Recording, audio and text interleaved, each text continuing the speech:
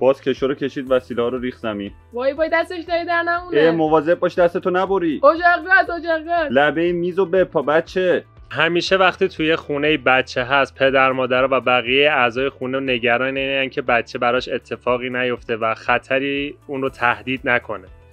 اما خبر خوب اینه که ما تو عصری داریم زندگی می‌کنیم که وسایلی طراحی شده که این خطرها رو به حداقل برسونه و نگرانی پدر مادر و بقیه اعضای خونه خیلی کم بشه. پس تا انتهای این ویدیو همراه ما باشین تا این نکات رو با همدیگه یاد بگیریم تا امنیت کودک شما به بالاترین حد ممکن برسه.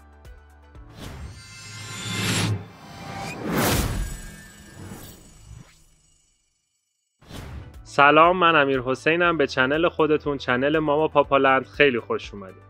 بچه وقتی شروع به حرکت می‌کنه از چهار دست و پا رفتن تا راه رفتن شیطنت ها و کنجکاوی و جستجوگریش هم به مراتب بیشتر میشه.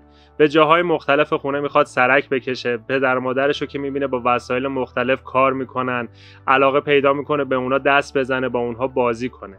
و متاسفانه ممکنه این وسط خطراتی هم سلامتی و امنیت نوزاد شما رو تهدید کنه. اما اصلا جای نگرانی نیست. یه وسایلی از قبل طراحی شده و تو بازار وجود داره که پدر و مادرها می‌تونن اونها رو تهیه کنن و تو قسمت های مختلف خونه بذارن که هم کنجکاوی بچه تعمین بشه و دیگه خطری اون رو تهدید نکنه هم دیگه پدر و مادر کلافه نشن و مر... نیازی نیست. دیگه هر لحظه دنبال نوزادشون بدون که به چیزی دست نزنه و خطری اون رو تهدید نکنه. پس تا انتها این ویدیو همراه ما باشین تا با این محصولات بیشتر آشنا بشیم اولین قسمتی که می‌خوایم راجبش با هم دیگه صحبت کنیم آشپزخونه یه منزله که چون مادر ممکنه تایم زیادی رو اونجا مشغول به کار باشه و طبیعتا کودکش هم کنارشه خیلی برای کودک جذاب به نظر میاد و ممکنه ذهن کنجکاوش باعث بشه که به وسایل مختلفی دست بزنه. یکی از خطرناکترین وسایلی که توی هر آشپزخونه وجود داره اجاق گازها یا ماکروویوان از این قفلا می‌تونین استفاده کنیم و روی اون پیچ های شعله قرار بدین که دیگه کودک شما دسترسی بهش نداشته باشه.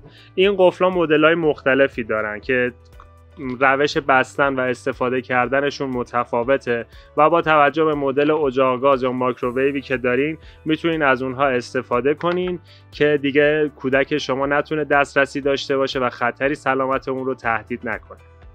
توی آشپزخونه یکی دیگه از جذابترین چیزهایی که برای کودکان و نوزادان وجود داره کابینت به خاطر دری که داره هی باز و بسته میشه وسایل مختلفی که داخل کابینت قرار داده همیشه بچه ها و مخصوصا اینکه تو سنهای پایین هم دستشون می‌رسه می‌تونن کابینت های پایین رو باز و بسته کنن همیشه براشون جذابه.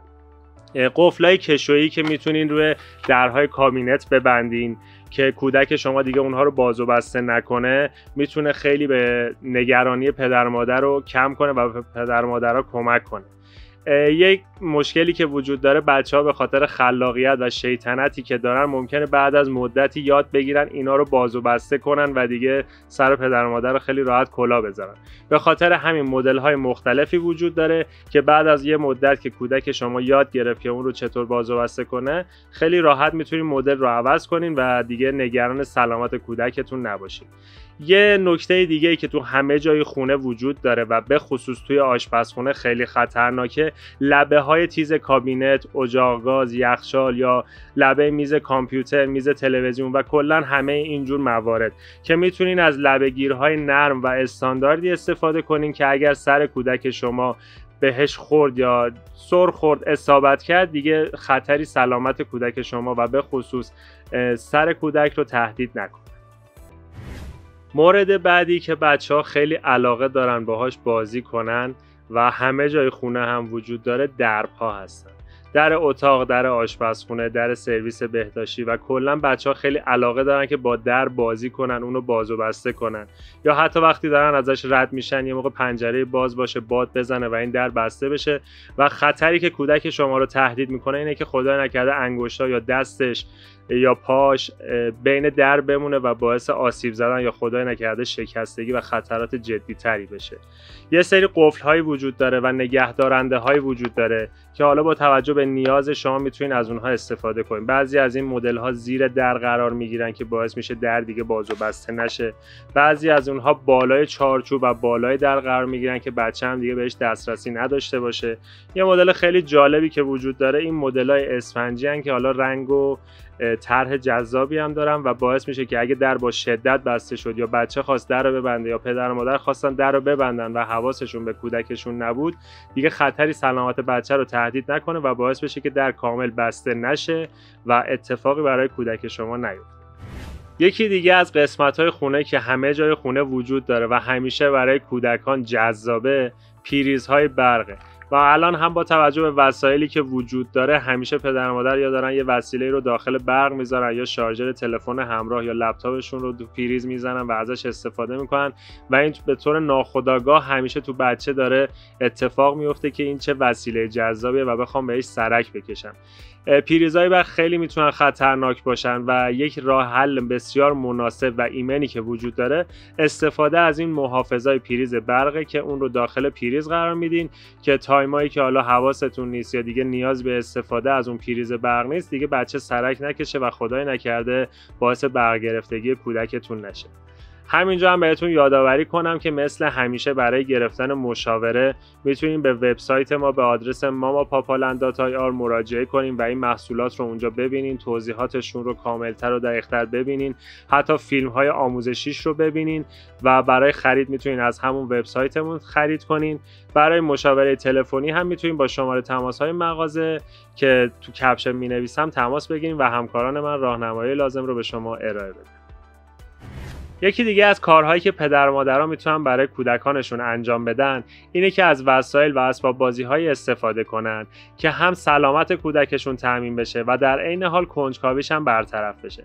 مثلا می‌تونین از اسباب بازی های استفاده کنین که شبیه وسایل واقعی تو خونه است. به عنوان مثال این کتری قوری که هم تایمر داره هم نور و صدای جذابی داره که برای بچه خوشاینده هم وقتی اون تایمرش برسه یه چیزی مثل بخار ازش بیرون میاد همین که قیمت اقتصادی و مغروم به صرفه ای داره. بچه ها یاد می‌گیرن که چطور با وسایل واقعی کار بکنن و این تو ناخودآگاهشون فوق العاده می‌تونه اثر بخش باشه.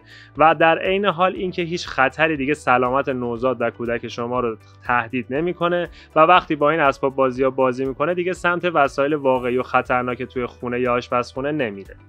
این اسباب بازی ها مدل های مختلف دارن همه وسایلشون موجوده.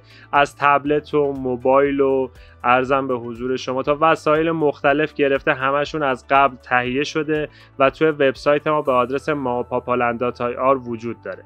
یه نکته دیگه ای هم که بگم ما از قبل براتون یه ویدیوهای آموزشی آماده کردیم. راجع به نکاتی که موقع خرید اسباب بازی پدر مادرها یا بقیه اعضای خانواده که می‌خوان هدیه یا کادو بخرن باید بهش دقت کنن و بدونن رو آماده کردیم و توی پلیلیست چنلمون وجود داره که می‌تونید یه سری هم به اون ویدیو بزنید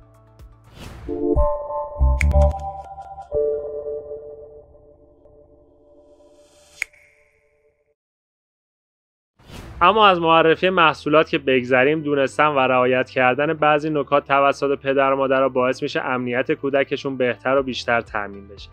اول از همه سراغ تخت خواب و گهوارش میریم. حتما به ارتفاع تخت و گهواره دقت کنین که خیلی بالا نباشه.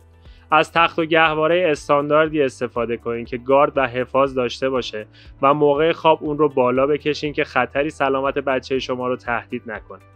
لباسی که موقع خواب تن کودکتون می‌کنین خیلی مهمه. حتما دقت داشته باشین لباسی تنش نباشه که نگین بند، زنجیر، کلاه یا موارد این چنینی داشته باشه که تو خواب بتونه برای بچه شما خطر آفرین باشه. یه نکته ای که خیلی مهمه و باید بهش دقت کنید اینه که همیشه درب سرویس بهداشتی و درب حمام قفل باشه که کودک نتونه به تنهایی واردش بشه.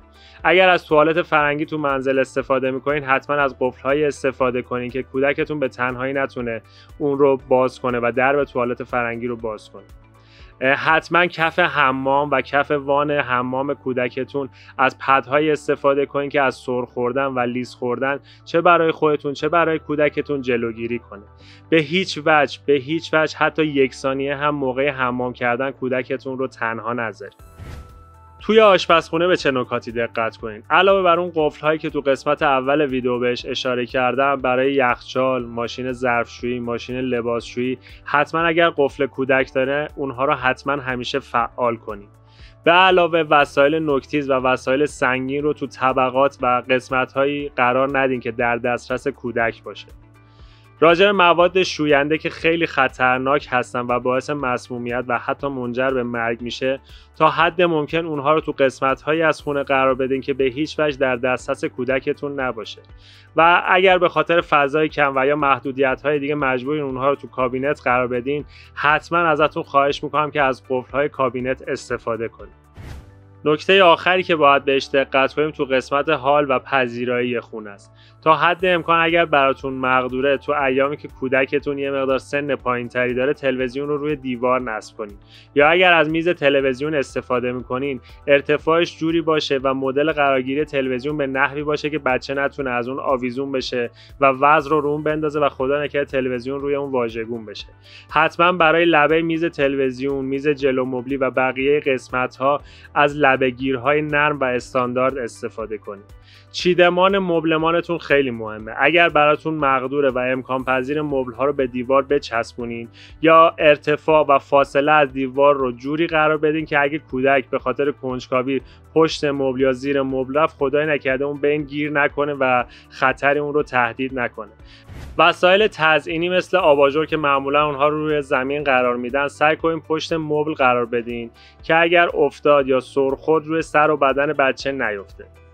اینها مواردی بود که ما می‌خواستیم به شما آموزش بدیم. اگر نکته دیگه ای هستش که توی این ویدیو بهش اشاره نکردیم رو حتما برای ما کامنت کنید.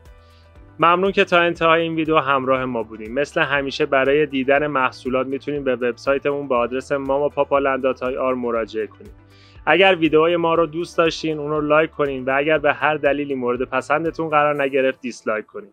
خدا نگهدارتون.